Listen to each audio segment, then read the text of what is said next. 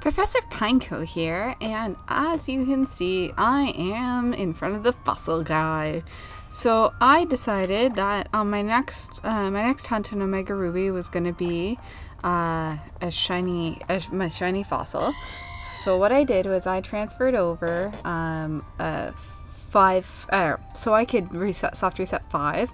I transferred over four fossils from my Pokemon X game, claw fossils specifically, and bam!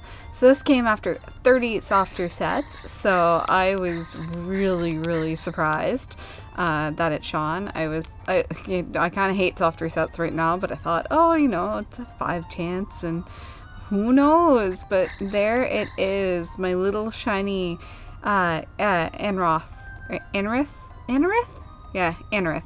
Um, so I definitely like to know um, if I'd like a name for this little guy. So I'd really, really like help in figuring out what his name should be. He does have a naive nature. I or like I was just so shocked I, I had to look. So that's um, I guess okay. He's a rock bug Pokemon. I've never, never actually used anything like that before. So um, it's interesting. Uh, wow, I'm I'm kind of speechless as I, I still can't believe that this this happened so fast. I I definitely spent a little bit of a moment, um, like kind of staring at it. As I said, I saved, I checked its nature. So uh, I'm gonna go ahead, and I think this guy deserves uh, a little battle uh, animation. I want to see the sparkles, and wow.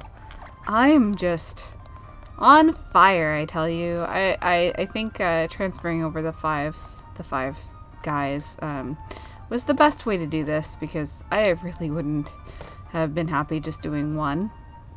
I think that would have that would have just taken a bit too long, and I've always been like I've always wanted the fossils, uh, all the fossils shiny. So, you know, this is just another one to add to the list. It's just everything's coming up Pineco. Let's hope that uh, I, I, was actually avoiding doing any more DexNav encounters, giving myself a little break from them. So that's why I have this little guy. Uh, so we're gonna go ahead and get into a wild encounter here. So we have a normal Zigzagoon, and we have a shiny Anrith.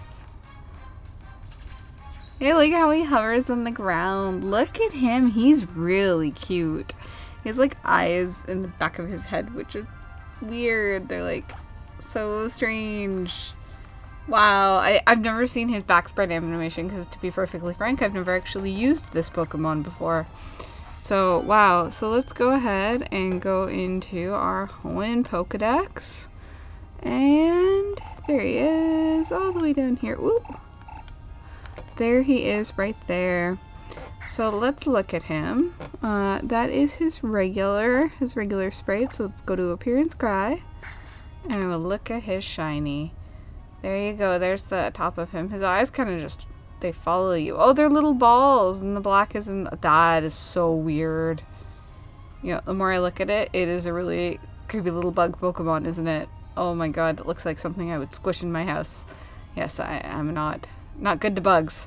Um, although he's he's more adorable when he evolves, so this one will be a Pokemon that I'll be definitely happy when he gets to the evolution point. He's called an old shrimp Pokemon. Um, Anthro was regenerated from a prehistoric fossil. This primitive Pokemon once lived in warm seas. It grips its prey firmly between its two large claws. Uh, that doesn't hunt your nightmares a little if you're afraid of bugs like me. Hopefully we can give him give him love and make him less scary. Oops. Um, so there you go. That's uh, that's our little an an an Anorith.